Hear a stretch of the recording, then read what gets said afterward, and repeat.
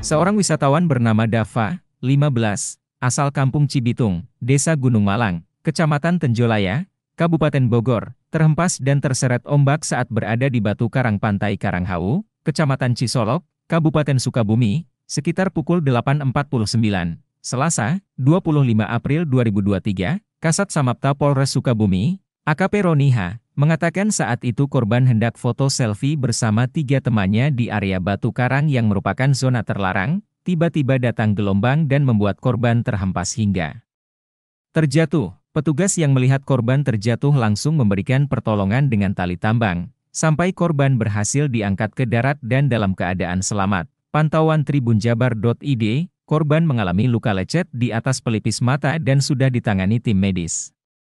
Assalamualaikum warahmatullahi wabarakatuh.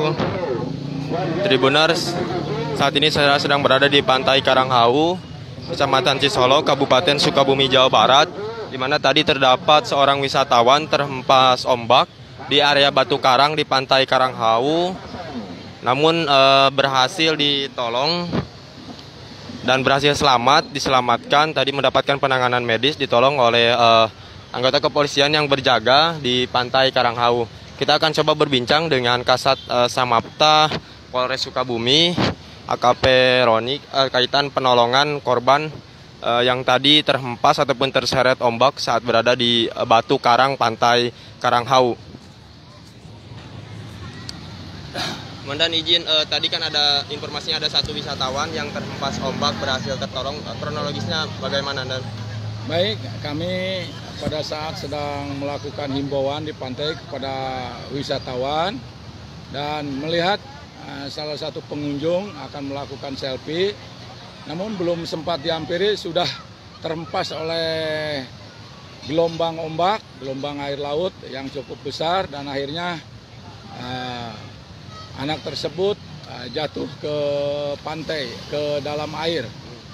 Untuk proses penolongannya sendiri tadi seperti apa dan uh, untuk uh, proses penolongannya kami menggunakan uh, peralatan uh, menggunakan tambang, menggunakan tambang karena yang bersangkutan masih dalam keadaan sadar dan masih bisa berenang mampir berpegangan di karang-karang yang berada di pinggir. Tadi uh, korban sendiri masih anak-anak atau sudah dewasa? Uh, itu remaja ya. Anak remaja. Uh, untuk saat ini kondisi korban seperti apa? Untuk saat ini korban sudah ditangani dan sudah sadar. Pada saat itu juga sadar dan sekarang sedang istirahat di pos pam. Tadi uh, dia bersama berapa orang rekannya sih uh, saat? Dia bersama foto-foto selfie di situ bersama tiga temannya. Berarti ada empat orang Ada ya? empat ya? orang, orang ya. berhasil selamat dari hempasan ombak ya? Ya, karena yang bertiga itu agak jauh, dia duluan. Ini memang tadi dia melanggar uh, himbauan petugas masuk ke area terlarang atau seperti apa sih? Uh, dia melihat di area sebelahnya, hmm. di sebelahnya yang area terlarang. Karena dia terlalu pinggir dan gelombang cukup besar pagi hari ini. Namun kita tetap melakukan himbauan-himbauan kepada pengunjung objek wisata pantai terutama di sekitaran Pantai Karanghau. Baik uh, Tribuners, uh, kurang lebih lokasinya di sini dan ya. Ini uh, merupakan. Merupakan lokasi batu karang tempat korban terhempas. Beruntung berhasil diselamatkan oleh petugas kepolisian yang berjaga di uh, pos pam pengamanan Pantai Karanghau dan saat ini korban dalam keadaan sadar. Pantauan kami tadi korban mengalami uh, luka lecet di uh, bagian atas pelipis matanya ataupun di jidatnya. Dan saat ini korban uh, sudah sadar dan tadi kita sudah sedikit berbincang dengan korban. Diketahui bernama Dava uh, asal Bogor berusia 15 tahun.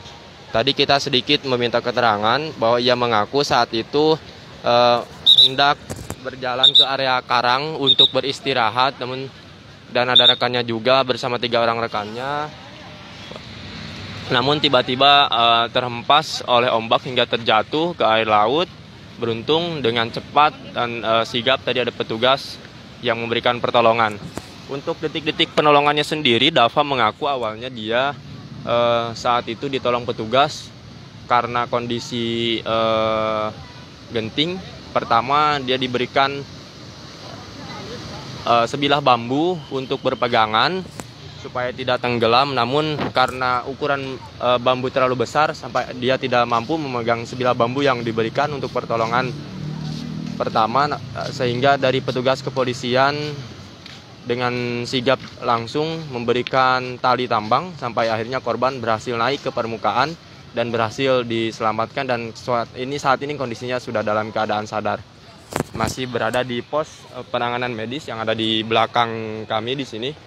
Baik, eh, Tribuners, sekian dulu dapat saya sampaikan. Rijal Jodin melaporkan dari Karanghaus, Sukabumi, Jawa Barat. Jangan lupa like Terima kasih sudah nonton. Jangan lupa like, subscribe, dan share ya.